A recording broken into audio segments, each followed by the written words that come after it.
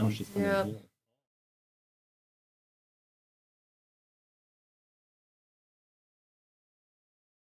I don't wanna sit here and wait for 10 minutes for either. It's 5:30. I'll call the meeting to order. Our first item is the Pledge of Allegiance. I pledge allegiance to the flag of the United States of America and to the republic for which it stands, one nation under God, indivisible, with liberty and justice for all. Mulso, will you read our mission statement, please? The mission of the Marshall Public School District is to educate, support, and prepare all learners for success. Thank you.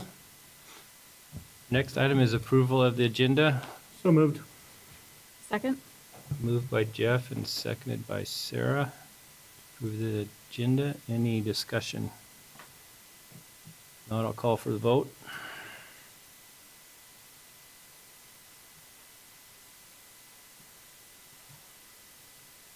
Is approved. Next item is our Tiger Spotlight. So tonight we want to recognize Samu. Sa, if you want to come up front here, we're going to present you a certificate here in just a minute. Sa um, has resigned from Marshall Public Schools. Today is actually his last day. He was probably done a couple hours ago and waited around just to come and see you guys this afternoon. So lucky Sa. Uh, Sa started with, the, with Marshall Public Schools in July of 2016. He's been an integral part of our parent-student connector team for the last seven years. He's worked endlessly to ensure that the needs of our Karen families are being met. It was not uncommon for him to meet with our families when they were available, which often was nights and weekends. We appreciate Sa's dedication to Marshall Public Schools and we wish him the best. So Sa, we want to say thank you. Um, we've got a certificate here for you. We can give you a hand. What are you going to do with you UCAP? too. Sa, what are you going to be doing at UCAP? Uh, I'm applying for the position, of uh, which is the settlement case manager. Good for you. Thank you.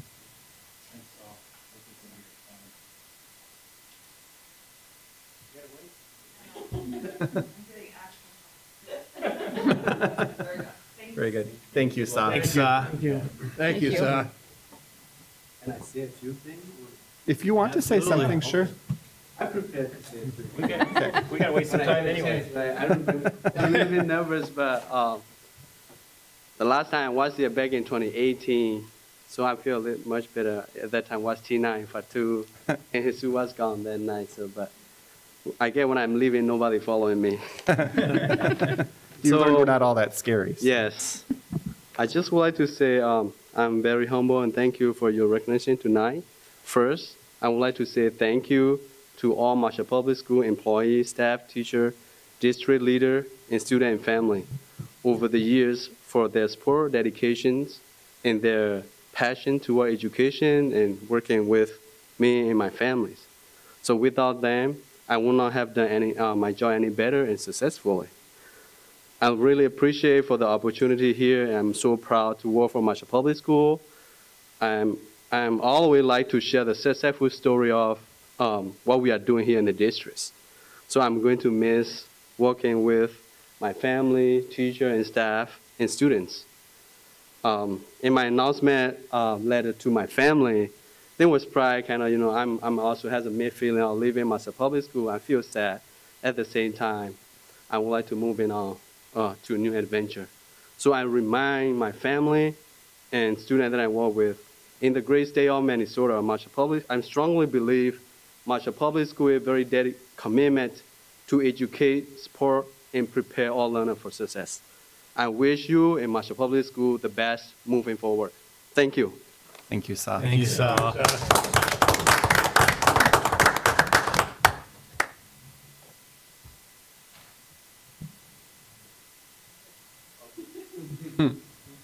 Our next item is a public forum. Is there anybody from the public like to appro- approach the board?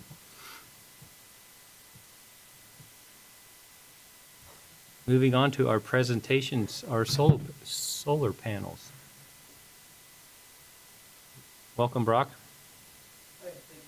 Do you have a clicker? Okay.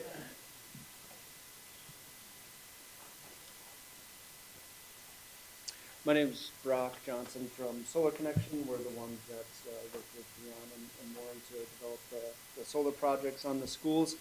Um, so just gonna get through this pretty efficiently, and then uh, Peter Lindstrom from CERTS, he, he actually just called me, so I'm hoping he, uh, he comes, gets here pretty soon, but uh, I'll be happy to answer any questions um, after this. So uh, the Solar for Schools presentation, or the Solar for Schools program um, was developed in 2021 through the Department of Commerce, along with the help of CERTS, the Clean Energy Resource Team, team that is a uh, division of extension of the U of M. Um, basically, they, the state wanted to incentivize schools, more solar installations across schools across the state. So um, they had a program budget in that first round of $7.2 million, and they determined who, what schools, you know, met the criteria or would get uh, preference based off of the um, adjusted net tax capacity divided by the adjusted pupil units, of which Marshall fell into the 85% grant category, meaning you could get uh, 85% of the solar project costs in a grant from the state.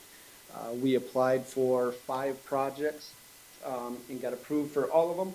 So um, we, we're still waiting on the CTE building to, to get connected, uh, but the other four are up and running. So um, we're very proud of the fact that the Marshall, four Marshall School projects that are turned on were the first four projects through the state program. Good accomplishment. Um, just to give you a little idea, maybe some of you are familiar with solar, maybe you're not, but the way uh, solar energy works, this picture has the panels uh, oriented on the roof, yours are all on the ground, but same concept.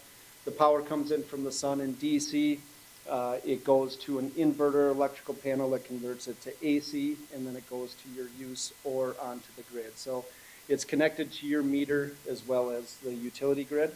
Um, so whenever you're using power, you're gonna draw, and solar's producing, you're gonna draw directly from solar first. And when you're not getting enough from solar, you're gonna draw from the grid and vice versa. Um, we also set up a, the inverters, um, into, you- into the school's Wi-Fi so that there's real-time monitoring of the production of the array, um, and the components of it itself. So if there's ever an issue, we get an alert about it. Uh, Dion and, and Warren have the, the app too, so they can see live production, historic production, et cetera. Um, one question real quick we get all the time, well, how, you know, winters can be pretty, pretty brutal in Minnesota. Does, you know, how well does solar even work here? This is a, a US uh, solar irradiance map. This is using the month of May, which we're in. So as you can see, Minnesota um, gets about the same production as, as half of Texas in the month of May. Southwest US is always going to be the best for, for solar in the US, but Minnesota still uh, gets plenty of, of sun energy. Here's a actual snip of the, um, the monitoring platform app.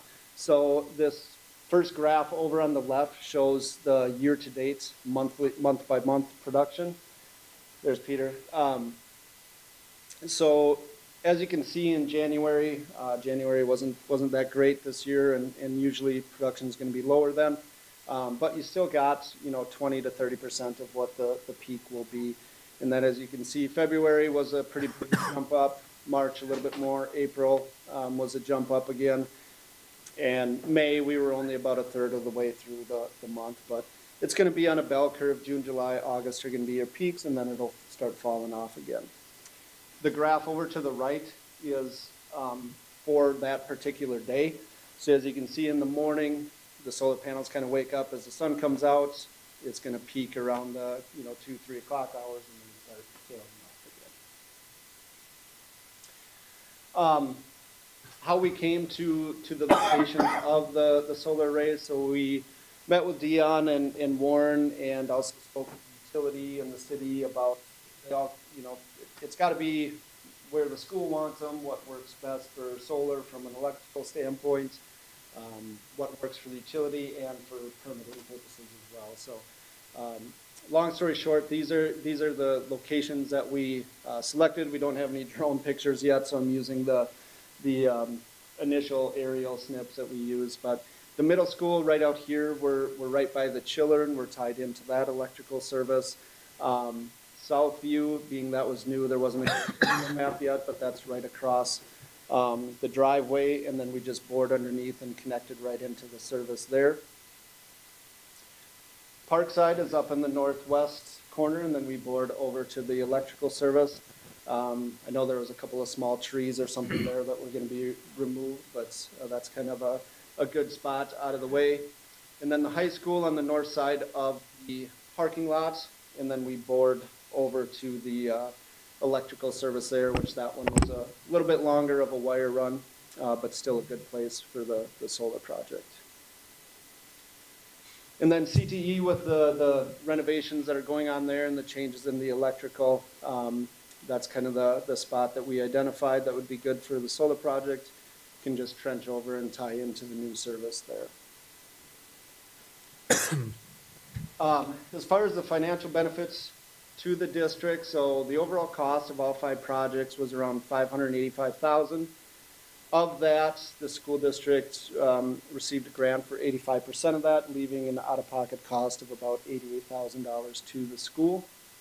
Um, how you're gonna see that out-of-pocket cost back, the expected annual energy production is gonna range somewhere between three hundred and twenty-five and three hundred and forty thousand kilowatt hours which will give you around twenty-two thousand dollars a year of electricity savings. Basically, energy that you're not gonna have to buy from the utility.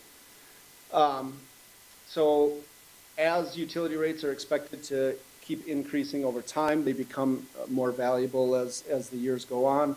So the estimated thirty-year savings to the school would be about seven hundred thousand dollars across all five projects.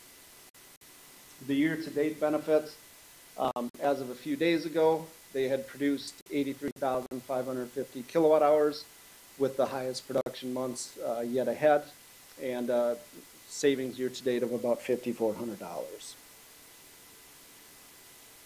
On top of the financial savings are the environmental and educational benefits as well.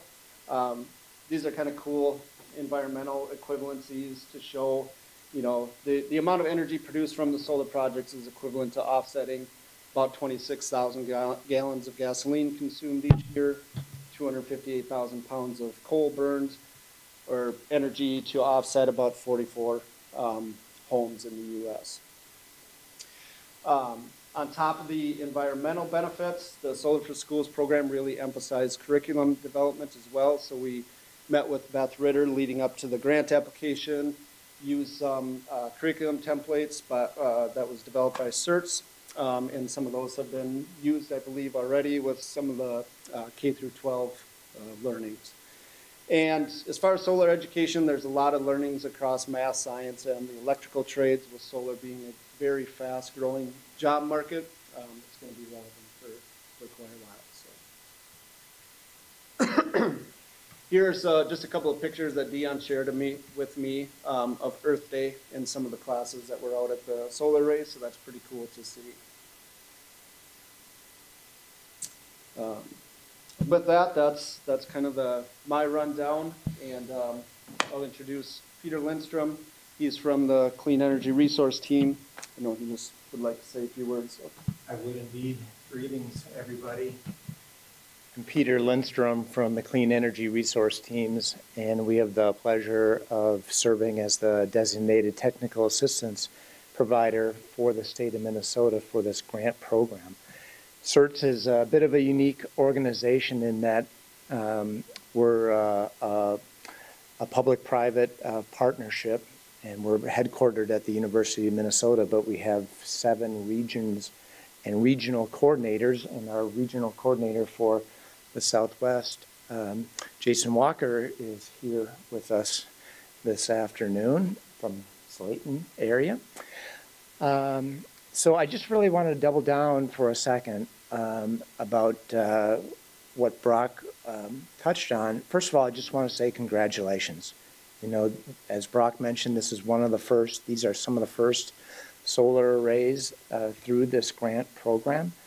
And um, so you are really the leaders in this area. There are a number of schools that have solar already, but you're one of the first to have implemented it, solar through this grant program. There's probably about 190 or so schools across the state that have some sort of solar, either a real small couple of kilowatt array up to very, very large size. And there's probably about 80 or so schools that have um, applied or are going through this grant program so far. Uh, and the reasons that schools are interested in this, what I hear when I talk to schools, it's it's really three or so big buckets. First of all, it's the sustainability components of this are are clear, um, and it's a great way to demonstrate to your taxpayers that sustainability is a key value for the district. Also, the financial benefits, no doubt about it. When I talk to districts, um, they tell me that that utility bill that you have to pay every month is oftentimes the second highest, maybe third highest expense for the district. And then, as Brock uh, touched on, clearly the uh, integrating the arrays in, into the curriculum. Um, I like to think that today's youth are tomorrow's energy decision makers. So they'll be decision makers on energy technologies, energy public policy, energy markets, and energy jobs. And again, as Brock said, these are some of the fastest growing jobs we have in the nation. I think just in Minnesota alone, solar jobs grew by, I think, 10%. And we have about 60,000 jobs um, in the clean energy sector across Minnesota.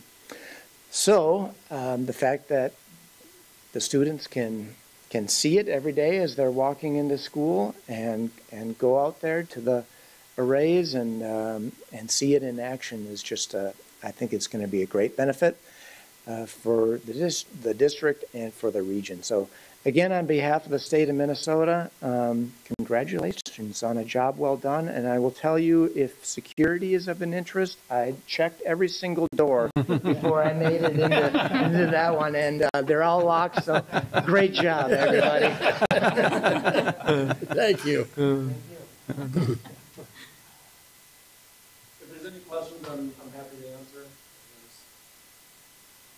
I'm sure you've answered this before probably, but what's the, what's involved in the maintenance and the, the lifespan of these solar panels? Yeah, great, great question. So, um, the panels that we use all come with a twenty-five year warranty, which is very standard in solar now. So, um, what the warranty basically says is at the end of twenty-five years, there'll be no less than eighty percent of what they were year one. Um, other than that, they're, they're a fixed tilt system, so there's no moving parts.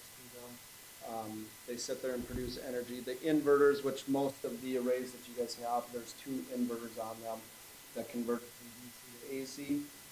Part of the grant program is you have to estimate in the cost of replacement of those, which they have a ten-year warranty on them.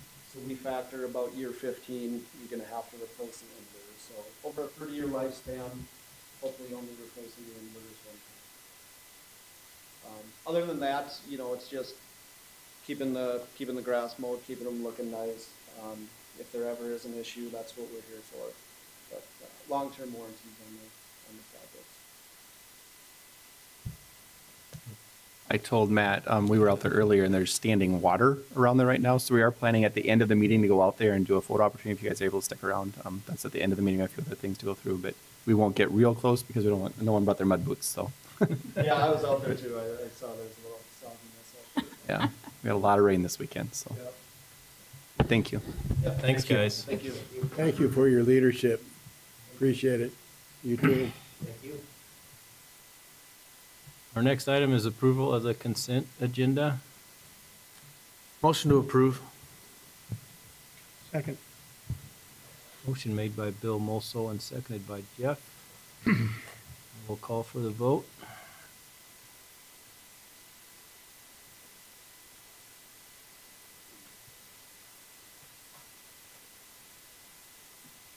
Consent agenda is approved.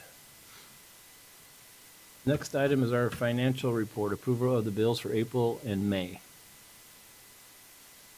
I'll make a motion. I'll second. Thanks, Jeff. Any discussion? Uh, Yeah, I won't go through a lot of them. I had emailed Sarah earlier uh, today, some of the breakdowns of some of the, the larger ones, but there are a few um, hotels and there's an airline one on here. Um, That is for things like BPA State, BPA Nationals, girls basketball. Um, When it comes to BPA, a lot of that's paid through student activities. so, see, show your, point those out so you know that the, uh, what they're used for. Thanks, Dion. Call for the vote.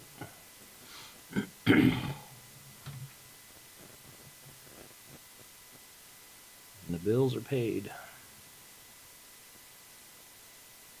Discussion on the treasurer's report, anything there, Dion? Uh, Just like each month, just point out on page two, the general fund um, budget compared to actual, we're 0.22 percent away from what budgeted is. Hopefully that's the. I'm sure it will. Thank you. Next item is board forum, board reports or updates. Any updates? I'll be attending a staff development committee end of the year meeting with uh, Beth next Monday. I attended a meeting with the crisis team, which I haven't been a part of ever, and it's really interesting. Um, Their main planning right now is in, in case of a crisis at any one of our schools, where to send our kids and where to tell the parents to go. And, and it's just a huge organizational logistic thing to get through. And it's just so interesting, the, the detail that our administrators have thought of things that will come up if anything, God forbid, it ever happens. So it's just, I just thought it was really interesting. So I didn't say much. I just listened. So Question on the safety thing, uh, in reading the legis, some of the legislative stuff, they were talking about doing away with Alice. yeah, I saw that too.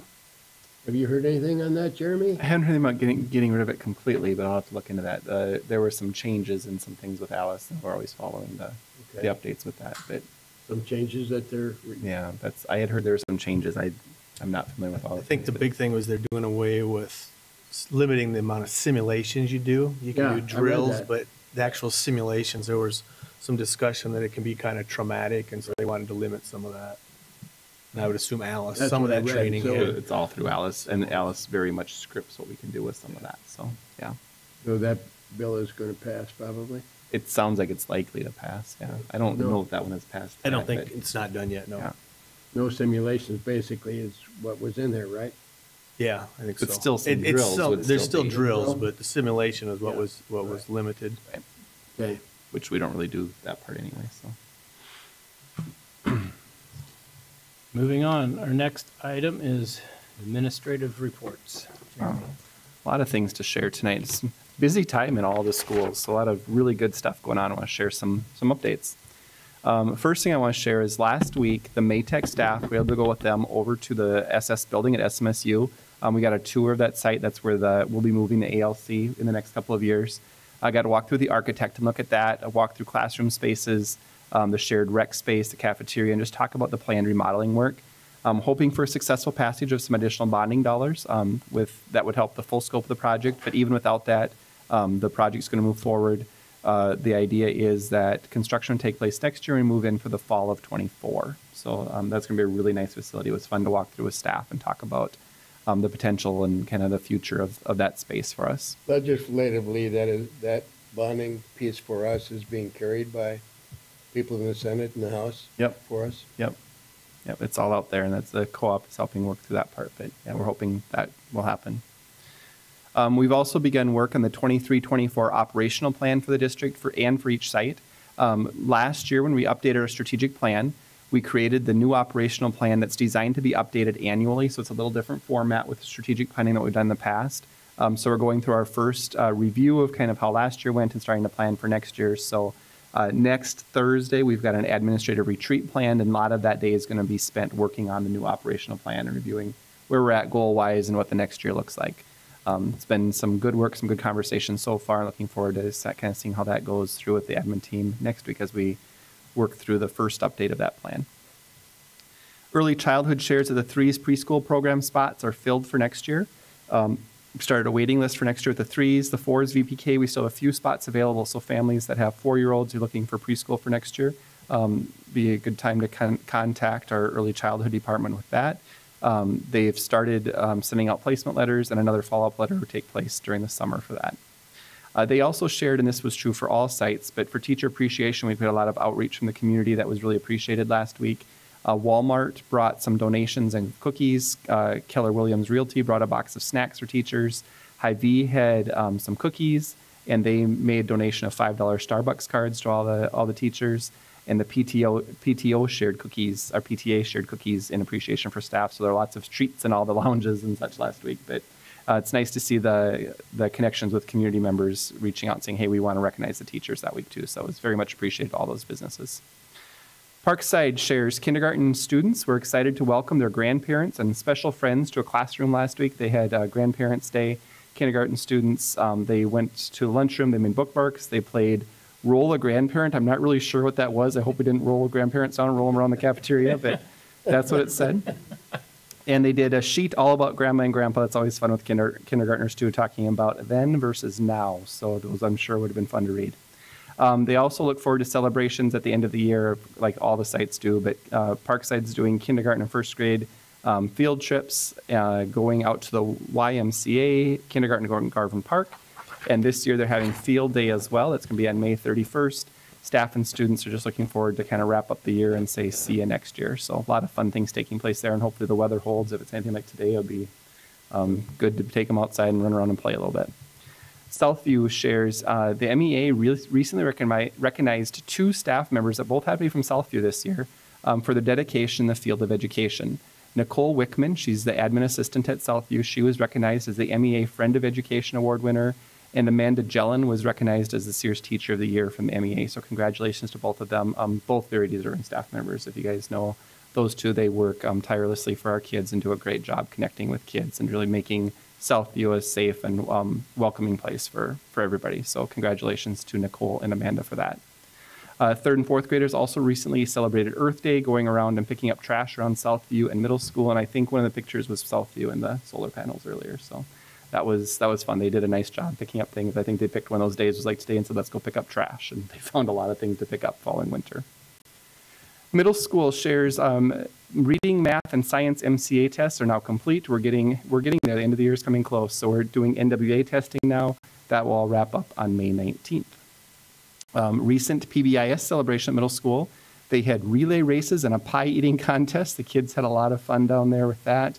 Um, they also recognize students showing Tiger Pride. One of the things middle school does is a U Rock Award. They have a rock they distribute to a staff member that was nominated by um, students, I believe. This year they nominated, or this month they nominated Eileen Bloomy. Um, she's retiring at the end of the school year, and um, they gave her the U Rock Award. So that was a nice presentation by them too. Eileen appreciated that, and certainly um, well deserved there for the job she's done in our district over the last, I think, 42 years of working in our copy center. Um, May 24th, so coming up, the high school and the middle school are going to combine their monthly building-wide PLC meetings. This is going to take place at the high school with a purpose to be introducing middle school to how BARR framework has helped to improve student outcomes for ninth grade students by focusing on continuous improvement of student-student, staff-student, and staff-staff relationships, and continually, to look, continually looking at data to inform professional practice. High school teachers are going to present to their high school and middle school colleagues in order to help inform both staffs how the BARR framework has helped improve a variety of processes at the high school while at the same time helping students to be more successful and to earn more credit. Members of the BARR program are going to be on site to help answer questions that staff may have. So, actually, some of the um, people that coordinate BARR across the nation are going to be on site that day for that presentation. So, um, one of the conversations we're having for next year is looking at bringing BARR into the middle school. Um, as middle school has talked about kind of what next year should look like and some things that they'd like to do there um, we feel like this could be a, a, good fit. So this conversation coming up between the two staffs will be really good for high school teachers that aren't using BARR as much right now. Those aren't just part of the program. And then middle school teachers wanting to know more. Good opportunity to learn and decide if that's the right direction to go for um, middle school in particular. High school has a lot of dates, um, and school board members, I think Emily has sent out invitations for these things too, but just a reminder to you and to the community, a lot of things coming up as we wrap up the school year here. Annual Scholarship Award ceremony is scheduled for this Wednesday, May 17th, beginning at 7 p.m. at the high school. As we've done the last couple years, it's going to take place um, in the high school gymnasium instead of we used to do that over at SMSU. Um, it's the uh, take a box of dessert treats when it's done, but nice, really nice presentation. Pride in the Tiger um, hosts to recognize our seniors at the scholarship ceremony. Uh, also on Tuesday, May 23rd, we're having the annual honors convocation just a really nice event for students in grades 9 through 12. It's recognizing all students for academic achievement at the high school. Um, incoming and graduating students from the Minnesota or the Marshall Honor Society, as well as students have earned activities achievement, will be recognized at that event. Uh, reminder for the board members and the community that students graduating the class of 2023 and beyond, um, we're changing a little bit how we recognize honors with that with that group starting this year. The Laud Latin model, model will be used to recognize um, academic achievement or excellence. The following levels of academic honors will be used. Cum laude for with distinction, that's cumulative GPA of 3.5 to 3.74. Magna cum laude with great distinction, the cumulative GPA of 3.75 to 3.99. And summa cum laude with highest distinction for GPAs of 4.0 and above. Um, high school does not academically rank students, uh, currently does not academically rank, rank them that way, so that's a change this year, and I think it would be a nice way to recognize all students for their academic success. It's been something we've been talking about, about for the last four years, kind of building it in since this class was freshmen, so this would be the first graduating year where that's going to look different at graduation. And then, of course, the 135th commencement and uh, commencement exercises, I get goosebumps when I said 135th, um, will be held on Friday, June 2nd. That's at 7 p.m. Studio One will be live streaming the event. Um, board members, you're all invited to attend that. It's a great, um, just a great event to have and to have board members there recognize all of our students. So I encourage you to join us for that event on June 2nd. MATEC shares as we get closer to the end of the year, um, planning to honor seniors at graduation there as well. MATEC graduation is Friday, May 26th. That's the seniors' last day. Um, that ceremony is at 2 p.m. at MATEC, so anyone able to attend that, we encourage you to join us for that one as well. Um, we'll be honoring students who successfully met the 30 and a half credit requirements through Marshall Public Schools. Uh, Amanda also shares that credit recovery is taking place this summer again. We've hired five teachers for high school program and one teacher's aide. Classes are going to be held at the high school again this year. We've done that last few years.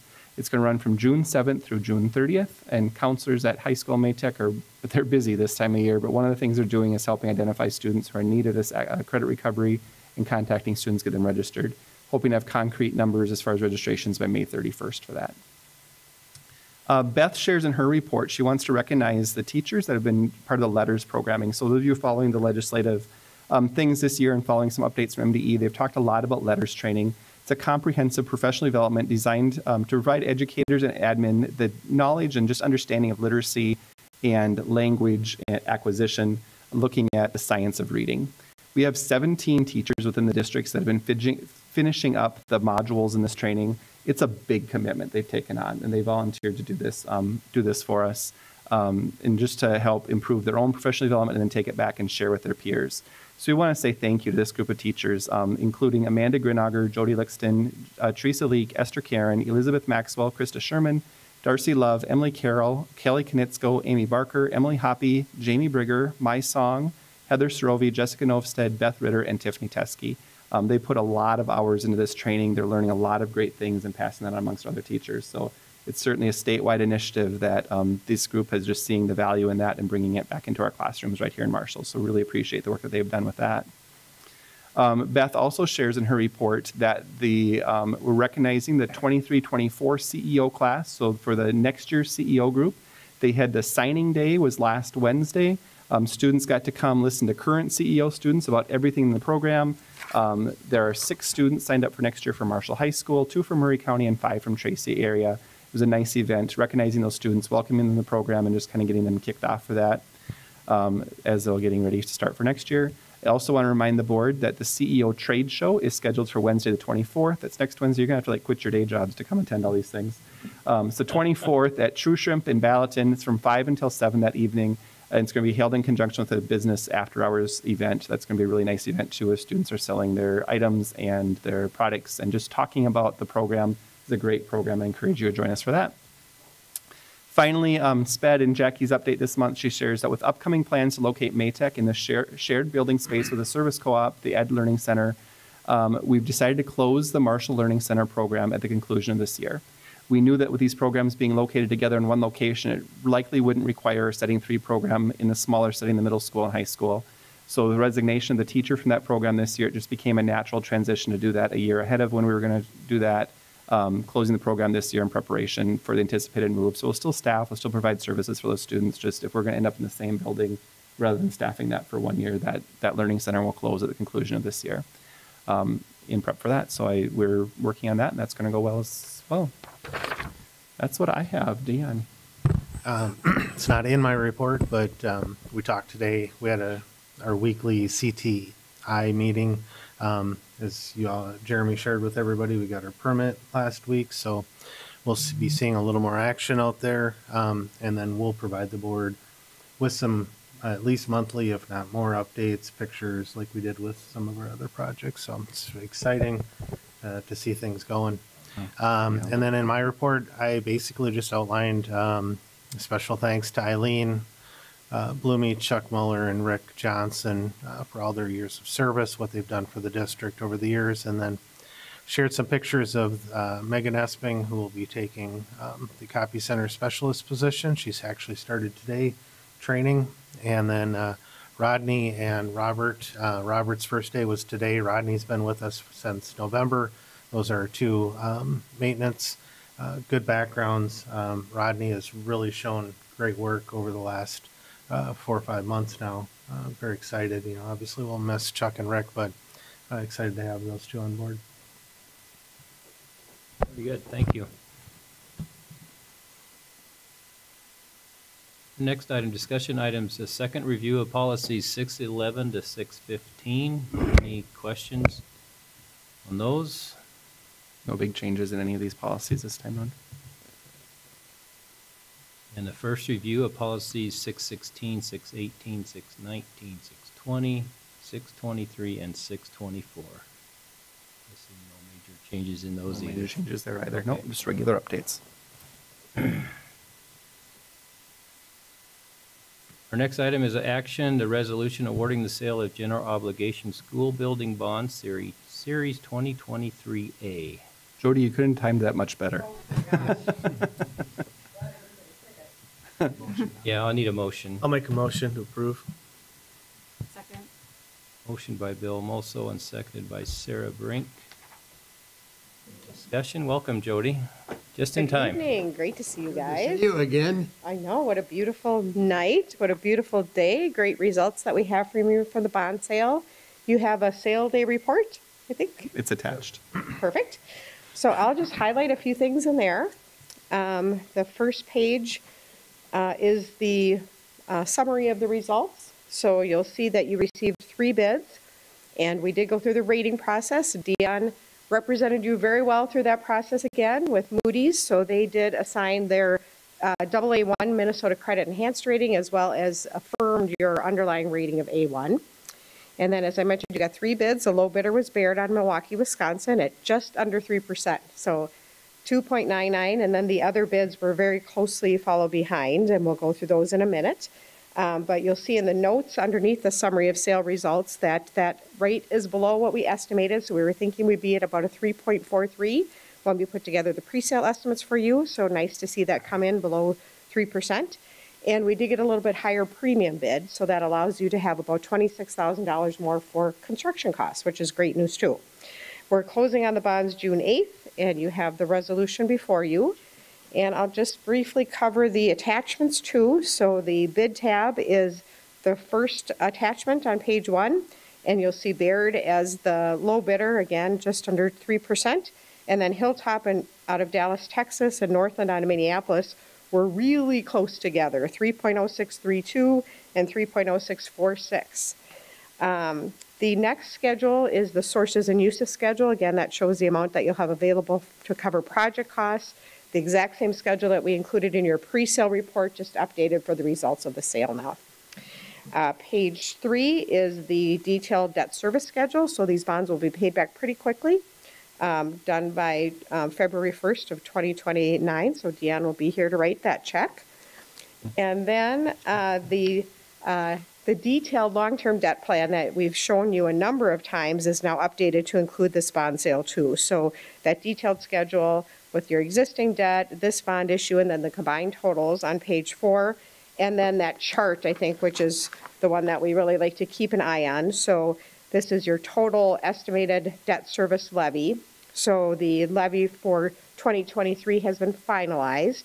So that little dotted line above that chart is the amount, um, the payment amount that you'll pay with funds on hand. So you're not going to levy for that first interest payment. But that tax rate did come down quite a bit with the growth in your tax base. And then we're scheduled to keep it at about that same level for taxes payable in '24, then with some step downs going forward. So got some flexibility if you need to do anything in the future at those points in time. And then next is the uh, press release that Moody's issued on your behalf. That goes for a few pages. And then finally, they also issue a second report, which starts on uh, page 11 at the bottom, and that is your detailed credit opinion. So it goes into a little bit more depth on many of the topics that we talked about, the different factors that are included in their um, rating analysis. And then finally, on page 14, I'll just point out that um, they do put together a scorecard, and their scorecard indicated outcome is one notch above the rate that they have assigned to you. So that just kind of gives us an indication that hopefully at some point in time you're poised to get an upgrade. And they, I think they feel like there's too much uncertainty around state funding. The legislature isn't quite done with its work yet. And then um, with inflationary pressures and uh, salaries and benefits yet to be determined through nego- contract negotiations, I think they just kind of want to have a little bit more firm information about the district, but we'll continue to work toward um, getting in that double A category, would- which would be really nice. So that's what I have. Good. And I'm happy to answer any questions that you might have on the resolution itself, too. So I know you have that updated now with the sale results from today also. Any questions for Jody? Well, thank you for the work that you and your entire team does, so we Of appreciate course, it. We yeah. appreciate it. Thank you. We appreciate the opportunity to be of service to you again, and glad you'll have a little bit more money to get some projects done. Yeah, it's great news. Yep. Thank you, Jody. Yep, Thanks, Jody. thank you. I will call for the vote. We have to have a motion first, don't we? We got it. We got it? We did it already.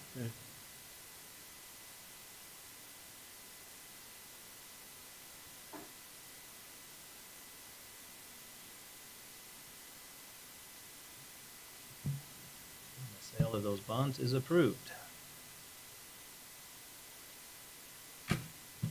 And we're gonna go outside and see the solar panels now. We'll see the solar panels, yeah. Then I'll adjourn the meeting after we walk through the water. Yeah. I'm not walking through the water, so I got my dress shoes in.